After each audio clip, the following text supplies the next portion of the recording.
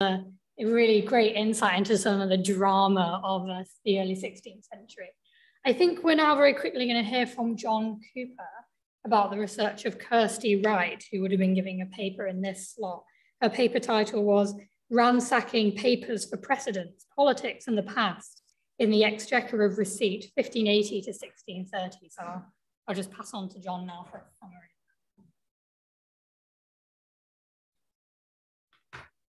Thank you very much. Well, this, this really is putting me on the spot. Um, Kirsty, unfortunately, can't be here today because she's lost her voice. Uh, I bear some responsibility for her losing her voice because she's actually teaching a couple of sections of my Tudor regime module at the University of York, and obviously has had such talkative York students uh, that she's uh, lost her voice in the process.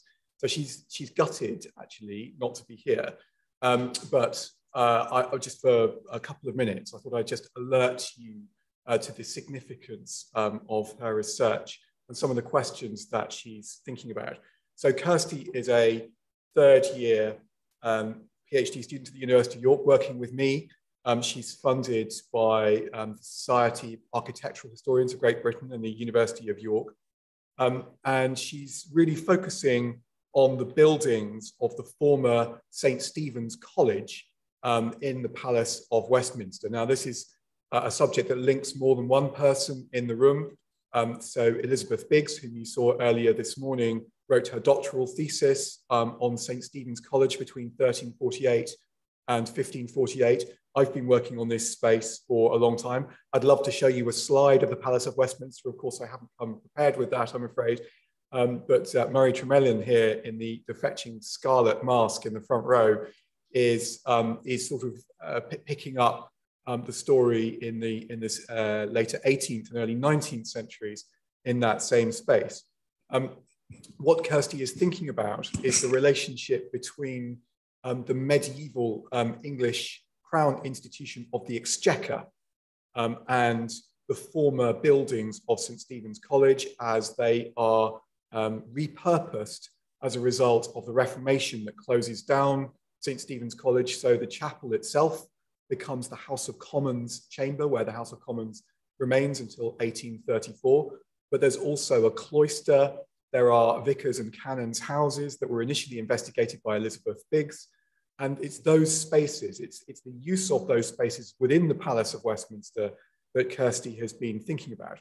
And some of the questions that she's been thinking about are the extent to which exchequer is an unchanging or an ossified institution in the 16th century, which is how it's conventionally portrayed, or is actually still um, in motion, still in flux, still vibrant, and still valuable to um, the English crown. Now, we've heard from more than one speaker already today how important those ex uh, the exchequer was, but also how critical exchequer records are. And where some other records have disappeared, that remarkably, the Exchequer records have survived, and not quite an unbroken, but a fantastically rich set of resources for medieval and early modern historians. And, and what Kirsty is doing is, is sort of thinking through the relationship between Exchequer and the spaces within the Palace of Westminster in order to um, uh, explore some of those political, cultural relationships. Um, ventriloquizing for her, uh, one of the things I think is most fascinating about what she's done is she's actually sort of reconstructed a typical day as if you were an auditor or a clerk working in the exchequer, um, including the, the spatial layout of the, uh, of the buildings of the exchequer, which were at the opposite end of Westminster Hall uh, from St. Stephen's Chapel. Um, and they were on several stories. Um, and uh, you know, she's, she's recovered this in marvelous detail, including clerks doing their work and actually then essentially um, dropping their paperwork down a pipe in the floor where it plops onto a table um, in uh, the, the, the, the, tier of administration below, and another set um, of men, they were all men, uh, clerks, um, get working on those papers and start um, claiming their fees. Um, so these same spaces that were inhabited by exchequer clerks in the 16th century they, they are both office space and they become domestic space. So the, um, the auditor of the Exchequer develops a very fine townhouse there, which goes through a whole series of emendations uh, into the 18th century. at which point it's fundamentally remodeled. Um, and this is what Murray Tremellen's research focuses on as it becomes a house or the speaker of the House of Commons. So we see in Kirsty's work a whole nexus of interactions between administrative history, I mean, what you, you might call her work the new administrative history, but also um, social culture, uh, sociability, and ritual. And I think what she is recovering in terms of how the exchequer functions, that looks to me not simply like um, clerks doing their job. There is an element of ritual life, I think, in, in, that, in that crown administration world of the 16th century. And what it was particularly unfortunate she can't be here because what her most recent work is doing is thinking about the interaction between this and antiquaries and antiquarianism um, and record keeping. And so she has, um, in the nick of time, in the last 10 minutes, sent through a sort of one paragraph description. So I'll give you that and then I'll sit down and we can think about questions. Um, my research, Kirsty's research, examines the exchequer of receipt. There are two exchequers, the upper exchequer and the exchequer of receipt. This is where the money comes in.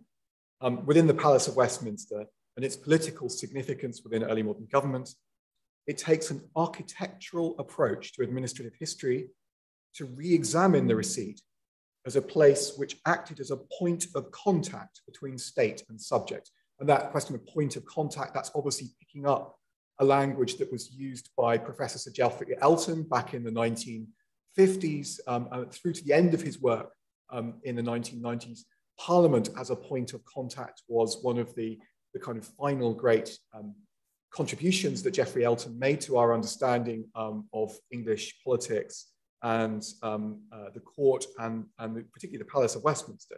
In fact, Kirsty is picking up that language of point of contact between state and subject.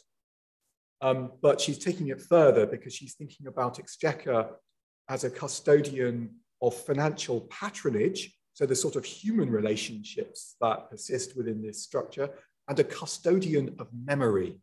And there she's really picking up on the work of um, one of my uh, medieval colleagues, um, who did have a, a career um, in the National Archives and then moved on um, to become a very senior official within the House of Lords, Elizabeth Hallam Smith. And Elizabeth Hallam Smith has fed through a lot of her research to me and to Murray Tremellen and Kirsty Wright. And I'd like to acknowledge her work that she's also a fellow um, of this society. But Kirsty's work reconstructs the internal layout, actually room by room, space by space, of the receipt of the exchequer in some of the same ways that Murray is doing uh, for the rooms of the Speaker's House from the 1790s. She fo focuses in particular on the reuse of the former St. Stephen's College buildings um, and really contributes to our better understanding of the reuse of the Palace of Westminster, the repurposing of the Palace of Westminster as this really ceases to be a royal palace in the very early 16th century and becomes the preeminent place of crown administration. And this is something that I've looked at in some of my current work in terms of the repurposing of St. Stephen's Chapel um, as the House of Commons chamber. It's also at the kind of latter end of Elizabeth Biggs's work with her kind of Tudor hat on rather than her medieval Ireland hat on um, in terms of thinking about the repurposing um, of the palace after the palace fire of 1512 to 13 when Henry VIII moves out. Um, and the Palace of Westminster is really given over to become the preeminent point of Crown administration. But by considering questions of place and space, Kirsty's work enables attention to be refocused on the people who move between the spaces that Exchequer occupied. So movement within the Palace of Westminster, reconstructed in quite a forensic way, is an important part of what she's doing in order to understand the value and the nature of administrative office and the changing use of those offices over time. As the, her clerks of the Exchequer shift, and this is the really critical point, I think, in, in her current work, shift from everyday clerical roles to politically influential sinecures. And I think it's quite clear that a lot of her Exchequer clerks and auditors are no longer simply the people who are claiming fees for copying out exchequer dockets. Um, that can actually be delegated to other people. Um, they are politically significant. And some of these people are politically connected with parliamentarians, who, of course, are simply at the other end of Westminster Hall, Exchequer and Parliament are literally cheek by jowl in, in the 16th century. And increasingly, a number of those auditors and clerks are themselves antiquarians. They are interested in the uh, ransacking of records, whether those are exchequer records or whether those are state paper records. And of course, those aren't held in some public record office. They're not held um, in the British Library. They're, a lot of them are still on site and accessible uh, within the Palace of Westminster or the Jewel Tower or other adjacent spaces.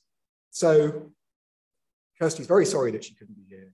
Um, her paper would have opened out some of those issues through examination of the largely neglected role of the receipt in record keeping and its intersection with antiquarian scholarship through discussion of the architecture of the four treasuries of the receipt in the Palace of Westminster. If any of you, if that sparks your interest, then Kirsty is very happy to share a copy of the text of her paper with any of you in the room. Um, and if you want to come and talk to me afterwards, I'll be happy to pass on her contact details. So thank you for listening.